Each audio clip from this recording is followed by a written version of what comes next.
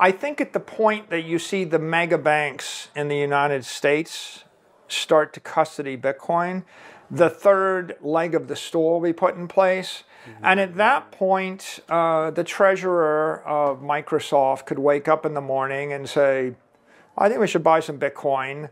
The CFO would say, okay, well, I guess the accounting looks fine.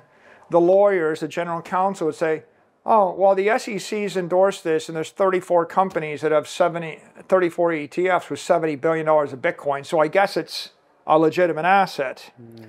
And then the treasurer could say, okay, to the person at Citibank or JP Morgan, buy us a billion dollars, put down the phone. Earlier this year, while speaking at the Bitcoin Atlantis conference in Madeira and then at Bitcoin Prague in June, MicroStrategy founder and executive chairman Michael Saylor proudly declared that Bitcoin had entered a decade long gold rush era.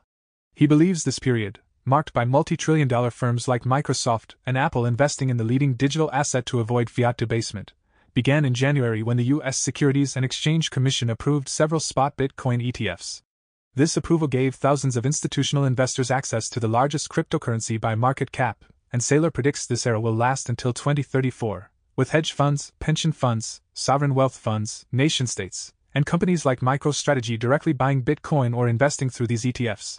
Saylor points to the approval of spot Bitcoin ETFs as a game changer, marking a significant shift in the regulatory landscape for cryptocurrency.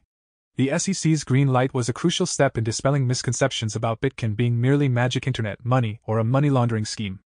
The interest of major Wall Street players like Fidelity and BlackRock further cements Bitcoin's position, indicating that it is not a passing trend but a long term investment opportunity. Saylor believes that the final piece of the puzzle will fall into place when regulators allow banks to custody Bitcoin, making it easier for all categories of investors to invest in the cryptocurrency. In a recent interview with Bitcoin News, Saylor discussed some exceedingly bullish predictions for Bitcoin, including his ultra bullish $100 trillion market cap prediction for the leading cryptocurrency. He believes that once banks can legally custody Bitcoin, it will rapidly begin to assume its true value, eventually reaching a market cap worth hundreds of trillions of dollars. This optimistic outlook underscores Saylor's confidence in Bitcoin's potential to revolutionize the financial landscape during this gold rush era. Stop, you don't have time. Don't miss out this 2025 bull run. Educate yourself first ahead of the crowd. We have created the ultimate step-by-step crypto cheat guide that will guide you this bull run. Unlock the secrets of crypto and make smarter investments today. Now by clicking on the link below to get your exclusive copy just under $10. Are you surprised that it's taken public companies so long to begin to adopt this Bitcoin treasury strategy? I guess I'm a little bit surprised. Uh, but yeah, because once you get Bitcoin and it clicks in your mind, your immediate reaction is, oh, I got to hurry and buy as much as I can because someone else is going to go take all my Bitcoin away from me. so, like in 2020, when I started buying Bitcoin, I was thinking, oh, oh no, I got to do this in a hurry because someone's going to figure it out and the price is going to 10x. And I better get it before it 10x's. Mm. So, I mean, that's a natural reaction when it finally clicks in your head because you're thinking, why, like, why wouldn't every billionaire in the world go and buy a billion dollars of Bitcoin, smash buy it overnight, mm. and just to make a billion. Because why wouldn't they just want to make the billion dollars, or five, you know, mm. five billion or ten billion or in, any amount of money? I mean, Bitcoin it, it, feels like in the early days the infinite money glitch, right? Mm. But the practical case is the world is uh, the world falls into conventional patterns and conventional behaviors and ceremony and ritual. And um, there are a lot of forces of conservatism that cause institutions and companies to move slower. Mm. So, for example, um, in the last four years, one question is Will Bitcoin be embraced by the regulators? Mm. And that wasn't really clearly answered until January of 20. 24. So when the United States SEC approved the Bitcoin spot ETFs, that was a major endorsement that this is not tulip bulbs, this is not a scam, this is a legitimate institutional digital asset and digital commodity. So that was a very important point. Uh, another thing uh, that had to happen was, uh, for corporate adoption is um, fair value accounting. If you bought a million dollars of Apple stock and it doubled, you would have a million dollar investment gain. But if you bought a million dollars of Bitcoin under the previous indefinite intangible accounting and it doubled, you would probably be showing a loss So a CFO that's indifferent if I if they said, well, wait, I can buy this, and if it doubles, I'll make money, and if I buy that and it doubles, it'll look like I lost money. That was, uh, I would say, prejudicial, hostile accounting, and that only just changed this year. And then the third thing that is required for institutional adoption in a big way is for the banking system of the world to start custodying Bitcoin. Right? If if I'm Google and I generate a billion dollars a month or maybe a billion a week some weeks, I can I have no problem wiring that money to JP Morgan or Citigroup and saying buy government T-bills and uh, a junior employee at Google does that wire transfer and it's routine like this. But if I wanted to buy a billion dollars of Bitcoin, I can't wire the money to JP Morgan or Goldman Sachs or Bank of America or Wells Fargo. I have to go find a, a new relationship. I have to set up a new vendor. A lot of times these companies had the same bank for 20 years, 30 years. Mm. You know, now Citibank used to be National City Bank. Mm. National City Bank was the Rockefeller Bank. It was John D. Rockefeller's bank. Right? It's not unlikely that the oil companies have been doing business with the same bank for 100 years. Right? So, so um, when we did it, we did it before those things. Right now, what we've seen is, is uh, the ETFs have been uh, an important blue, uh, important green check in this process. The accounting changes have been a second green check. The Financial Accounting Standards Board rule change is a much anticipated victory for Bitcoin and the broader cryptocurrency and digital assets industry. With this new rule, the board now allows companies that hold Bitcoin and other cryptocurrencies on their balance sheets to use fair value accounting principles when reporting their crypto asset holdings. Previously, the board classified Bitcoin as an indefinite intangible asset, treating it as a risky and exotic asset, which deterred corporations from purchasing it.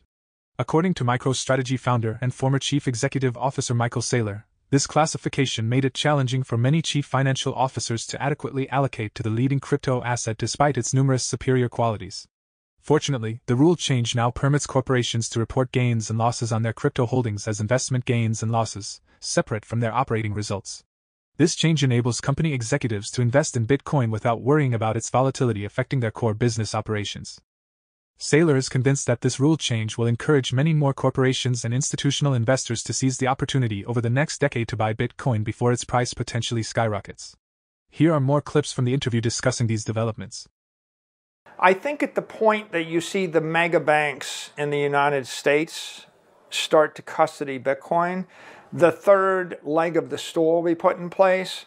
And at that point, uh, the treasurer of Microsoft could wake up in the morning and say, I think we should buy some Bitcoin. The CFO would say, okay, well, I guess the accounting looks fine. The lawyers, the general counsel would say, oh, well, the SEC's endorsed this, and there's 34 companies that have 70, 34 ETFs with $70 billion of Bitcoin, so I guess it's a legitimate asset. And then the treasurer could say, okay, to the person at Citibank or JP Morgan, buy us a billion dollars, put down the phone. And it's just very stress free, you see. and right now, we're not quite there. What, and, and that's the negative. It'll probably be another year or two years before we work through the banking issue. It's clear that it's going to happen, but it'll take a bit of time. And, uh, and meanwhile, the opportunity is for these companies you named to get a leg up. Hmm. And if you're the first mover, it's just like someone that bought Bitcoin in 2013 had to do a lot of work, hmm. or 2017. so you have to do more work, but you get paid. And what I used to say to people is, look, when it's not controversial and it's easy, right? Um, everybody will want it, right? Hmm. No, nobody will make fun of you for buying it, but you won't be able to afford it. like, like you'll be able to buy 1% of what you could buy now. So when it gets easy, you'll have to pay up for the convenience of it, or you can uh, you can work a bit harder right now, and and the marketplace will give you a discount.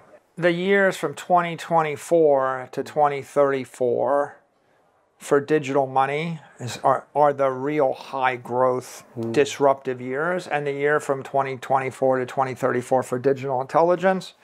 Probably the same thing, right? There, but this is the decade of digital capital, and the, hmm. and I use the word capital because money. Sometimes people think, well, is that the currency? Or is that the store is it the medium exchange or the store of value? I would say the real disruptive change right now is bitcoin will emerge as the store of value digital capital and what's that worth? Hundreds of trillions of dollars is what it's mm-hmm. worth. It's worth a lot. And that's a very that's a very hard hard driving trend. You realize now institutions corporations are moving in size that is an order of magnitude and two orders of magnitude greater than was going on before. Mm. That's going to continue aggressively for the next decade. Mm. and, and, that is the Bitcoin gold rush. I mean, the reason that's the gold rush is because by 2035, 99% of the Bitcoin will have been mined. Mm. So, right now is the time when you've got natural sellers. You've got 450 Bitcoin available a day to buy mm. from someone that might want to sell it to you right? And when that supply gets cut off, the only way you're going to get Bitcoin is to take the price up and get it from an unwilling seller mm. by bribing them with a high price increase. Mm. So, so this is a uh, this is the gold rush for Bitcoin because You've got the institutional endorsement, you've got the regulatory endorsement, you've got the banks clamoring to get in. Some are already getting in. Mm. The news this week was the largest bank in Brazil, in fact, the largest bank in South America is Bank Itaú, mm. has announced that their customers can buy, sell, and custody Bitcoin mm. with the bank. Mm. Imagine if JP Morgan said, hey, all of our customers can buy, sell, and custody Bitcoin with our bank. Well, that's what happened in Brazil. In other news, the U.S. Securities and Exchange Commission approved nine spot Ethereum ETF applications on Monday, marking another significant milestone for the cryptocurrency industry as it continues to integrate into mainstream finance. Celebrating the development, Coinbase tweeted that spot ETH ETFs offer investors access to a unique crypto asset with distinct return characteristics. The Ethereum ecosystem is thriving, with over 15 million monthly active addresses and a 300% growth in smart contracts deployed in 2023.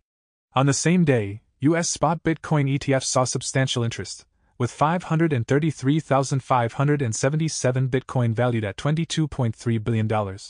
Fidelity's FBTC alone holds about 68,313 Bitcoin, currently worth $12 billion. Both Ethereum and Bitcoin prices are expected to rise even higher this week as more institutional investors enter the market. Please share your thoughts, comments, and observations in the comments section below. For more daily dose crypto news, check out these two awesome videos on your screen. Click now and we will see you on the next video.